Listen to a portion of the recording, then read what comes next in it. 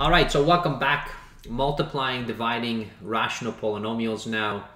When you have a few uh, polynomials and uh, sometimes you have them as rational polynomials, what happens when you start multiplying and dividing them? Well, I'm to kind of take you back first because, you know, at some point in elementary school, you were doing fractions and then probably you were doing some kind of a review and maybe in grade nine.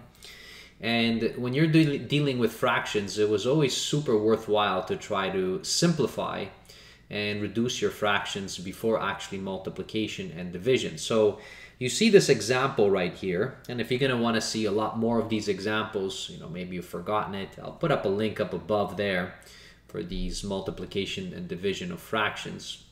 And some of those uh, in that video might be a little bit challenging as well. Now here, we know that for multiplication and division of fractions, you know, so if you have, let's say, a over b, and then you want to multiply c over d, um, it's very simple to just say a times c divided by b times d, and then we would get our answer. Now, if we were dividing them, so if we had a over b, and then we had division, so c over d, you know, we would have the reciprocal basically division of those uh, fractions and then you know it would return us back to multiplication. That's something that many of us remember but when i kind of go through this i always remind students to always try to reduce as much as possible. And now where this is going to become super useful is when you are actually dealing with rational polynomials and then you have factors which you can um, completely cancel off which is going to help you and make those rational polynomials is much, much smaller to deal with, especially if you ever had to graph it. So here, as a kind of a refresher, so if I take this, you know, so we have 8 over 10 multiplied by, let's say, negative 3 over 2. Now, division changes to multiplication by the reciprocal, so this is going to be 5 over 4. And then we have another multiplication. Notice here we have a whole number. So that whole number is simply negative 3 over 2 and its improper form.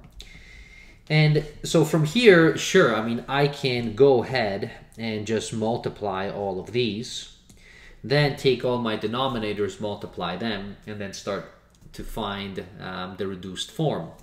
But it is actually worthwhile to see if there's any cancellations of uh, factors that you might have in between. So right away, you know, I can see, for instance, uh, right here, what I would have is I have this 8, and then the 8, so notice here at the bottom in the denominator, so I have a 2, which will go into the 8, and it will go 4 times. Um, and then what I have is I have another 4, so this 4 is going to go into this 4. And it nicely reduces that for us, you know, so basically same factors, you can cancel them off anywhere that you like.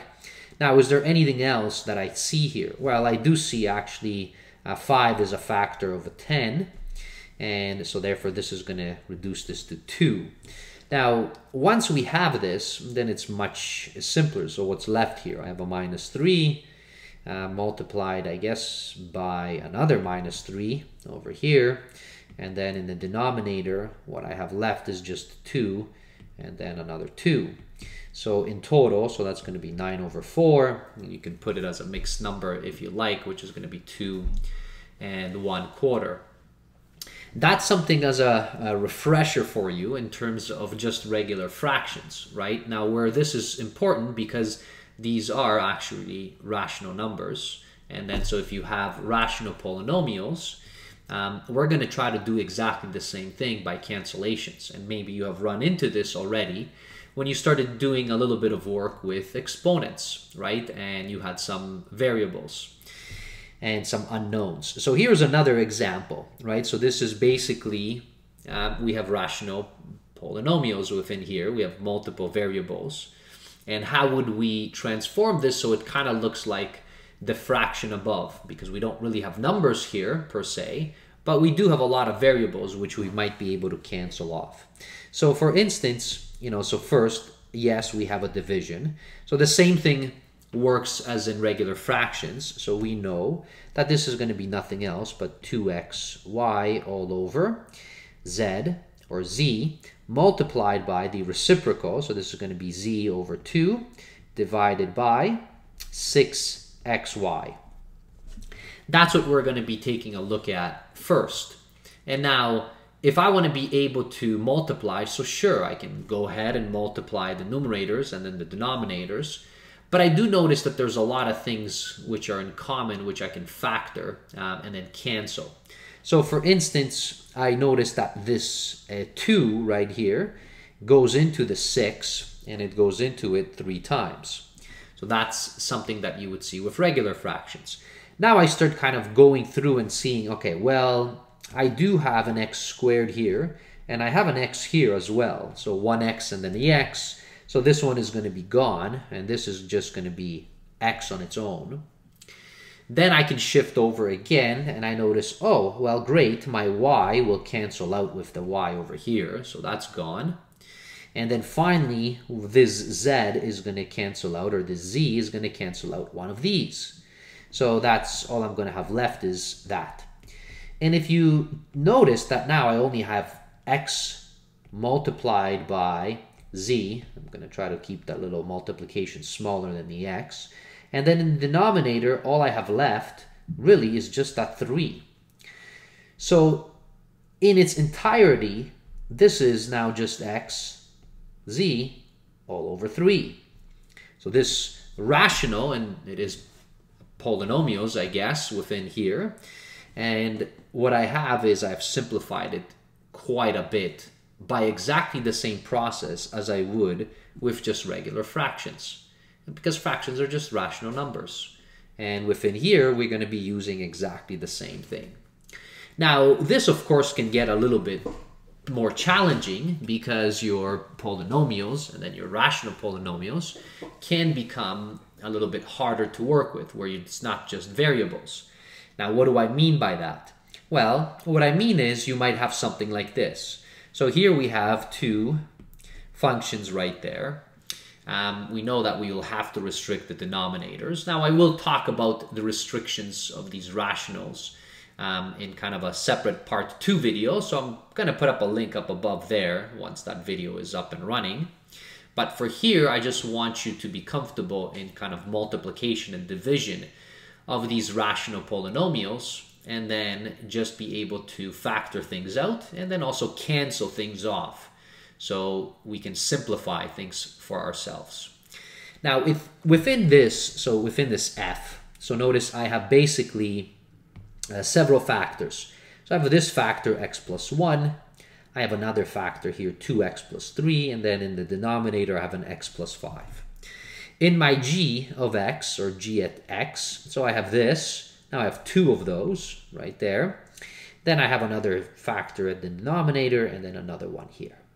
So if it's asking me to multiply these two together, I'm going to multiply them and again try to see if I can cancel anything off um, within here. So let's rewrite these things in its entirety. So f is x plus 1, then it's 2x plus 3 um, divided by, this is going to be x plus 5. So that's the first one. So I have this one out of the way. Now we want to multiply this by, so here is my second one, which is x plus 5. Now this is squared. And then it's divided by 2x plus 3 and x minus 1. Now everything here is factored, right? It's already in factored form, so it's much simpler for me to be able to see what cancels off and what doesn't cancel off, right? So for instance, I can very quickly tell that here, so this 2x plus 3, notice it's going to cancel this 2x plus 3. So that's going to be gone right away. So this is gone, because it just cancels each other off. Now, I can't really cancel off the x plus 1 with anything in the denominators, but I can cancel, again, this x plus 5. So I have this, and I can cancel one of these right there. So one of them will be gone. So this one is gone, and there's only one left here. So, you know, we don't have that anymore. And if you look at this now, this is much, much simpler. So what does this equal? Well, I have x plus 1 That's the only thing that is left within here, and that's supposed to be multiplying. Now the x plus 5 divided by, and this is x minus 1. So that's what I have there. Now, depending on what your teachers will want, so sometimes, you know, they will want you to leave it in factored form, or sometimes they will want you to distribute and expand this thing out. So you will have x plus 1 multiplied by x plus 5. This is now divided by x minus 1. And if they want it in fully expanded form, so sure, we can do that. So this is going to be x squared plus, so notice that we're just distributing across. All right, so it's going to be 5x plus x plus 5. That's in the numerator divided by x minus 1 right there. Then we can collect our like terms. It's going to be plus 6x plus 5 all over x minus 1. Now that's much nicer than it would have been if we didn't cancel things off. And that's what we mean by having these rational polynomials and then being comfortable and then canceling things just as you normally would with regular fractions. So when you actually deal with fractions, you can see that it just keeps translating along in math. Um, so it's certainly worthwhile to be familiar with fractions in general and what all of the different operations would be. All right, so here's another example. So this one is a rational polynomial, except it's not factored in any particular way. So when we're going to be working with this, we're going to try to simplify this as much as possible. Um, and we're going to have to try to see if there's any common factors between the numerator and denominator in order to do that simplification. So kind of step one, try to see, um, you know, if you can factor out kind of a greatest common factor, I guess, from both. I'm just kind of scanning it. They're both quadratics, so we can't really take out any a's from there, but we can see, I can take out a 3. So first, so from the numerator, I mean, I can kind of factor out the 3, so that's going to give me 2a squared plus 3, so that's 7a plus 5. Um, it would be nice if we could. So now we have 18. So 3 we can factor out. Uh, 51, so our old trick. So 5 plus 1 is 6. So 3 goes into that, and it goes into that. So great. So we can factor out that. So that's going to leave me 6a squared plus uh, 3 into 51. Um, once that's 17. And then so 3, 15, so that's 5. Okay, so at least it's reduced somewhat. Um, now, again, so since they're quadratics, we'll try to um, decompose this because they're certainly not perfect squares and not difference of squares. Now, if you've forgotten some of the factoring for polynomials, I'll put up a link up above there. You can check that out. Now returning to these, I'm going to take the first one. So let's take this one first. And let's try to see if I can decompose this. So 2 times 5 is 10. And two numbers added to get, well, 2 plus 5. Okay, so that's the first one. So 2a squared plus, I guess 5a plus 2a, that's going to be 7. And that's going to give me what I need there. So that's in the numerator, so that's going to work. So I'm going to be able to factor that out. Now in the denominator, let's see what I can do there. 6 times 5 is 30. Okay, so this one's also not that bad because 17, that's 2 times 15. So it looks like we can factor these out. So that's going to be 15a plus 2a plus 5. Um, so now let's kind of group them together. And so for example, right here, I'll take out, I guess I can only take out the A. It's going to leave me 2A plus 5. And then in here, so grouping this together, well, I can only take out the 1. So I guess it's going to be 2a plus 5 because we want those common. In the denominator, all right, so let's group these together I can take out a 3 and an A. So 3A Um, if I do that, it's going to leave me 2a plus 5. And I guess, okay, so there's my, it's going to be the same thing here. Um, and now, so factoring the whole thing out, so what I have is a plus 1, 2a plus 5 divided by, this is now going to be 3a plus 1, and then 2a plus 5. And now you can see that indeed, so here is my common factor to both that I can just cancel. And that leaves me, so that means my final answer is much simpler than the original, right? Which is what I started off right here. And I'm sure you're going to run into this at some point in school if you're going to be doing functions and then rational polynomials. So it's worth your time to try to remember how to factor and then how to simplify just like you would with a regular fraction. So that was another example. Let's do a final example. So here as I've prepared something for you right here. This one's a little bit more annoying because it's bigger. Uh, but let's see what it will yield us um, within here. So first of all, okay, so within here, um, I can't really do much there. Okay, so division, so that's going to be between these two. Okay, so what I have is 3 all over x plus 2. Now the division right here turns into multiplication. And that multiplication is going to be, so I guess 2x squared plus 3x all over um, x squared minus 1. Um, that's my numerator.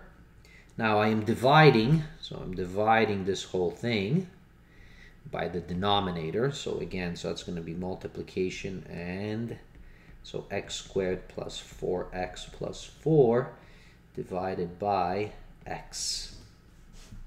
All right, so that's what I have. Now let me, so that I don't confuse these, I'm going to put them in a different color. So these multiplications like that. So they're not like variables. Um, all right, so now we're gonna have to try to see, okay, can we factor a lot of things out? I already said we can't really do anything with this thing, so I'm gonna leave this as it is. Now with the second one, I can actually take out the x there. So notice that's gonna be 2x plus 3. Um, in the denominator, um, that's a difference of squares, x squared minus 1. So x plus 1 and x minus 1. All right, so so far we have that. And then the last one, so it's going to be x. Okay, so that's going to be good. Now within here, um, that's a perfect square. That's x plus 2 times x times 2. Okay, I'll, I'll write them out both all right but that's that. All right and now we basically try to see okay so what can we reduce? This was all multiplication. So x plus 2 right here so that's one of the x plus 2s so I can cancel that. So that's going to be gone. That's 1 um, so here's another one. So x and the x so that's gone so that's another one. And unfortunately, I think that's it. All right. Okay, so then what that leaves me with on top is 3, 2x plus 3, and then x plus 2 divided by, and then in the denominator, it's x plus 1 and x minus 1. That's what I'm going to have there, right? 1, 2, 3, and then 1, 2. Now, if you want to expand it, you can. Um, so I'm going to leave it like that. And that would have been the kind of reduced. And clearly you can see that it's a rational polynomial that we have and are dealing with. Now, in part number two, I'm going to actually take these and I'm going to talk about restrictions so that you have it and now, so restrictions, if you ever had to graph it, you know, so restrictions just tell us kind of what the domain is and which values of x or the inputs that we have. So x or I guess the a in here, you know, what we have to actually worry about. You know, we have talked about domains before. Put up a link up above there for domains. Um, but within here, especially for rational polynomials, sometimes it's a little bit tricky. Okay, so I'll do that in part two. Um, you know, the link was, I guess, a little bit earlier, and that would have been the next follow-up video in this series. Okay, we'll see you in a future video, everyone. Take care. Bye-bye.